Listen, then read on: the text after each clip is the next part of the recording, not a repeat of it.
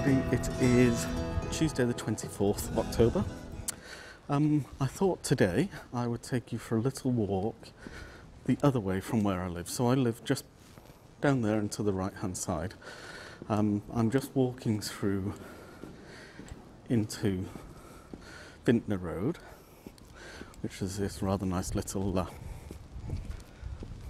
residential area and just walk through here. It's pedestrian footpath out onto the main road at Vineyard. And so this area is just to the north of the town centre. Um, before the two roads split off, one to the Oxford Road and one out to Radley in the kind of east, northeast of Abingdon. And the Radley Road is also where old Abingdon was based, at the little village farmstead, really, of Barton.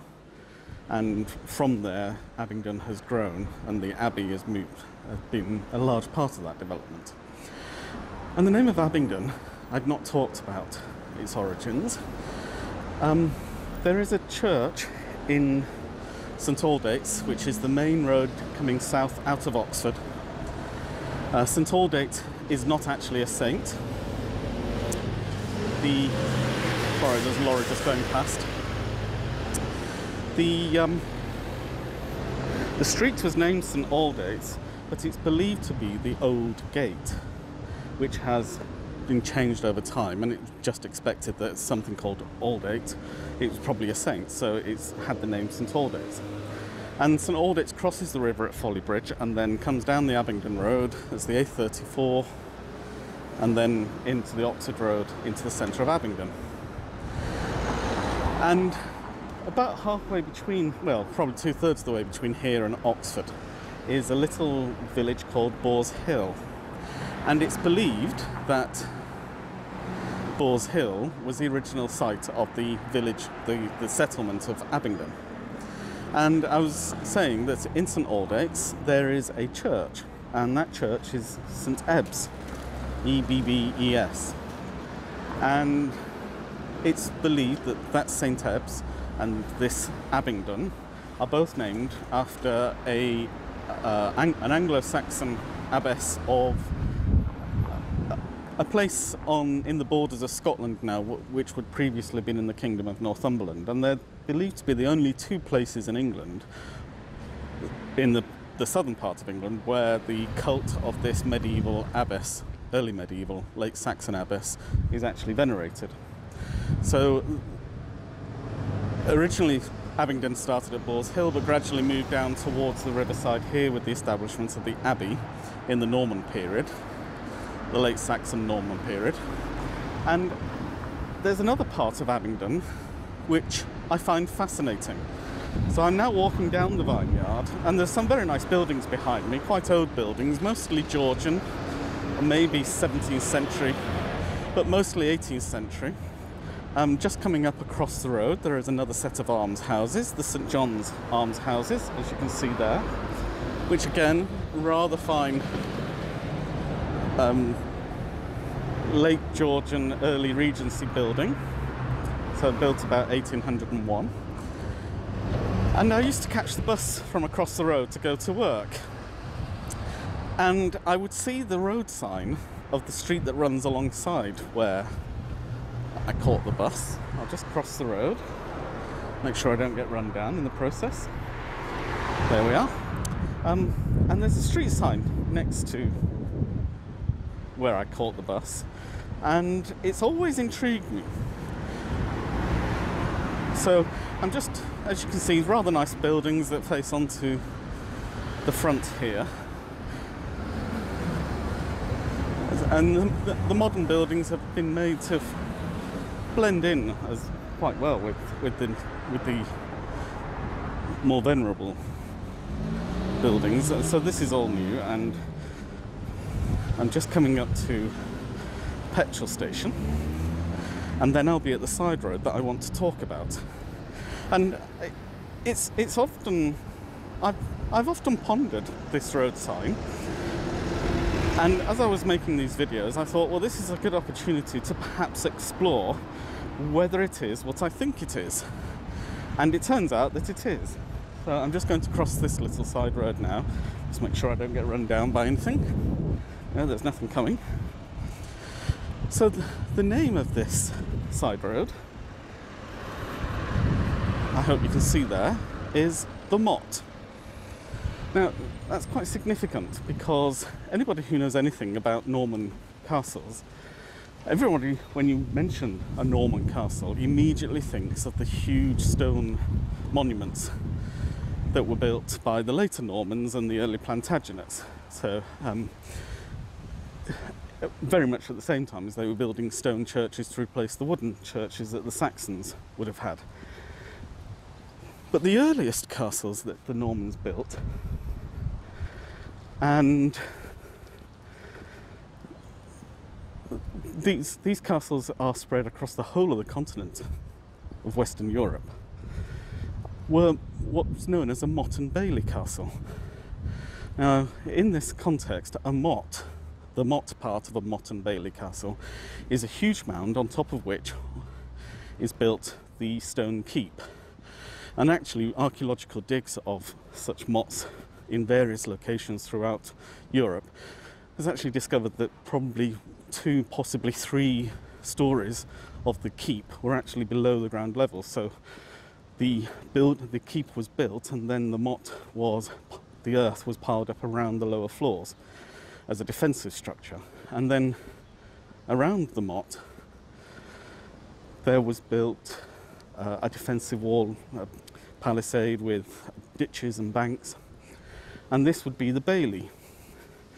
And so the normal kind of services, the kitchens, the great hall, the stables would be in the bailey part of the Motte and Bailey Castle. And then in a time of uh, tension or anxiety, the family and their entourage would move into the castle, the keep proper. Now, I just want to make sure I'm going the right way, so I, I will just, if you bear with me a second, I'll just make sure I'm on the right path. Yes, I think I'm actually going the right way, so I'm just going to walk around here. Then this is uh, just normal housing in the town centre. Um, but the so the motte there is one of the historical kind of um, leftovers from the Motte and Bailey Castle. But I'm also walking in an area where the road is named Fitzharrys. Now, there is a high school just along the road next door to my primary school, where I'm a governor, in fact, which is Fitzharrys. And there are a number of uh, streets and pubs in the area named after the Fitzharrys. And it's always spelt with a Y, so it's Fitzharry S. But in fact, there was a medieval family who lived in this area of Abingdon. There was a manor house here, and they were the Fitzharris family with an I. Although, of course, medieval spellings are never completely safe. So, Fitzharris tells me that the family was um, Norman in origin and just reading the little plaque there. So the family was Norman in origin, and anybody with the surname Fitz something is a scion of the bastard line of the family, usually a bastard son, in fact, always a bastard son. So they would be a son not not born to the wife of, the, of the, the man involved, but whom he recognised as his son. And so they weren't entitled to inherit the title of the father, but the father could leave them land and very often um, junior titles. And probably the most common uh, familiar names are names like Fitzwilliam, uh, Fitzalan, Fitzherbert, and also Fitzroy. And Fitzroy comes from the French fils roi, which means son of the king. The Fitz part of all of these names is the anglicisation of the French fils, which is the son. So Fitzroy is at, at some point descended as a bastard from one of the monarchs.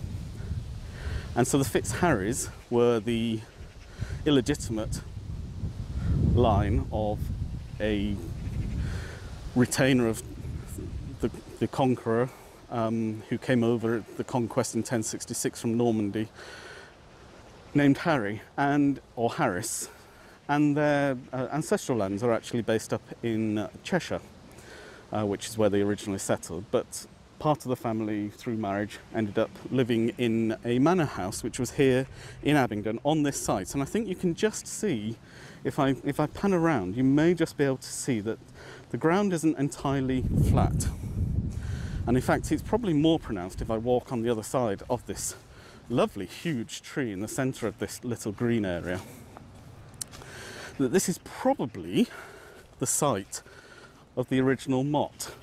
It was certainly known to be a manor house in the 15th century, belonging to Abingdon Abbey. And the belief is, given the the place names, given the likelihood that this is actually uh, the of the location, this is actually the original Abingdon Castle location. So, a little bit of digging around, and I think there's a degree of certainty now that there would have been a Motte and Bailey Castle on here. There is a Motte and Bailey in central Oxford as well, um, at the bottom of New Road, which is not very new. And the um, the mound is itself a scheduled monument and is huge. I mean, it's it's it's very high. This has obviously been levelled over the years in order to build the, the manor house that would have been here, um, and so most of the the superficial, on the surface evidence of this being a motte has been lost, but has been retained in the street names of this particular area. So I thought rather than go back to the main road, there's a little nature walk, which was the wrong path I nearly took earlier, which is taking me more or less the right direction. And I just thought it would be nice to have a walk through here because I, I didn't know this place existed until I started sniffing around for the castle. um, and there are some lovely little paths leading off through the trees. So it's really quite an attractive little place. Um, I'm surprised I never knew it was here, but then I never really investigated this side of the town centre. Um, where I live now, I've talked about in the past as being a an area of countryside. Um, in fact, Vineyard is named after the farm that was uh, more or less where my home is now. Uh, those would have been farmlands right outside the town centre to the north. And this would have been at a time, well, if we think about it, um, I'm just walking up towards um, Box Hill Road because there is standing there something I want to show you, which is the one remaining element of the Abingdon poorhouse. And the poorhouse that's up here was actually built in the 1870s and was hexagonal in shape, um, or, or octagonal. I think hexagonal, I think it was six sided. Um, and it replaced earlier poorhouses that had been in the centre of town in what is now Queen Street that joins the marketplace to Broad Street, which is the main road, former main road that used to go right through the centre of the town.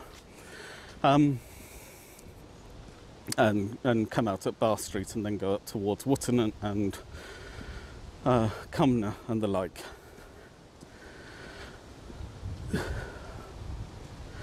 So I've shown you that the arm houses at St Helens and the arm house that's in um,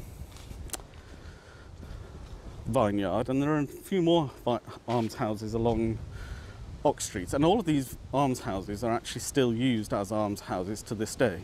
But the poor laws, when they were introduced, were designed to prevent poverty creating idleness. And there was a there was a belief in the idea of the feckless poor, the poor who couldn't be bothered to work rather than the poor that simply had no work.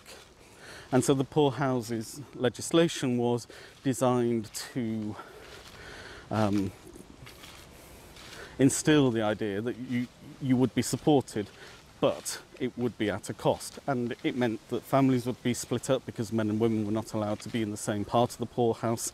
And, and if they had children, then the children would go with the mother until they were a certain age. If they were boys, and then they would go with the father. So it was a real last resort that people would throw themselves on the mercy of the poorhouse. And the Oxford poorhouse lasted all the way through until 1932 when it was finally demolished. Sorry, the Abingdon poorhouse. But in fact, the Abingdon poorhouse was the first in the country to be built according to the new legislation that was passed by Parliament in the 19th century and initially encompassed the parishes within 14 parishes within the immediate vicinity of Abingdon, but then eventually, a few years later, uh, grew in size to incorporate um, up to 38 parish, um, the poor of 38 parishes within the local area. Um, I'm just wandering through this nice little play park and parkland on Box Hill Road. I think it's Box Hill Road, it's called, because, as I say, at the far end of this uh, playing field is a small remnant, the only remnant now, of the Abingdon Poorhouse. So it will be along here a little way. I may edit some of this out in order to avoid uh, the, the rather exciting prospect of me wandering through a field talking to a camera. Uh, I can't see where the house, the, the wall is. Um, ah, here we are, we're coming up to it now. So this wall here in this at the end of this play park, I don't suppose most people have even given it a second's thought. But this is all that remains of the Abingdon Poorhouse. Um, there would be uh, exercise yards. It, I'm talking about it as if it were a prison. It wasn't a prison. You were free to go, but you received no support if you did leave. Um, and most of the day would be taken up with mindless work, very much like forced labour uh, in a hard labour in a prison would be. But sometimes it would be fulfilling work, uh, sewing and, and um, similar activities for the women in particular. But the Victorians recognised the need for people to have fresh air as part of their daily regimen and so um, an area where they could go outside and take fresh air rather than be cooped up in buildings all the time was an essential part of the design of the workhouse. And although we have very fixed ideas about the rights and wrongs of treating the poor as if they were somehow criminal because they were poor, in many ways the poor laws were were the tiny baby steps that every society has to take in order to develop a more compassionate and understanding of the systemic causes of poverty, uh, as much as there will always be, as uh, unfortunately, those people who want to take advantage of any system of compassion.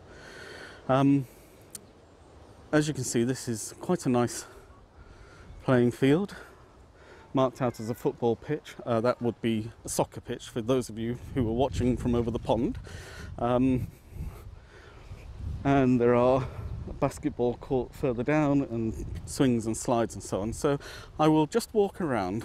As you can see, this wall actually extends all the way along this stretch of the playing fields, and the houses on the other side are known locally or were known locally when they were first erected as the workhouse estate. And there's a, there is still some evidence of the old workhouse in, within that estate, which I will go around and show you now. So I'm back on the Oxford Road now, walking back down towards the vineyard. And you'll notice that there's a road here on this side, as well as the main road over there. Having looked at some um, later medieval, early modern maps, it's quite clear that this was once the route of the main road out of Abingdon, and that as the town has grown in size and as transport links have improved, the road has actually moved slightly in that direction in order to be made wider. But this this road actually preserves the old road out of Abingdon. So I've come down to the Oxford Road and I have promised you the evidence that of the actual workhouse itself. Um, this road that I'm standing on, which comes off the Oxford Road, uh, which is the main road there, and this this road here is Abbott's Road, and Abbott Road, uh, along with Thesiger Road, which is the road that comes off Abbott Road, just to the side, around this corner as I'm going, um, were both both names were picked by um, public choice in the 1930s after the poorhouse was demolished and the work the workhouse estate was built. And both of the men were um, former Abingdonians as it were uh, who had gone on to greater things in their lives. And so this was the town's way of preserving their memory. Um, now I'm just going to walk to, to Thesiger Road, which is just ahead on the left. And once I get there, I'll explain the remnants that are found here of the old workhouse. Now, in fact, when the workhouse was closed in 1932, it was totally demolished. Every last brick was removed.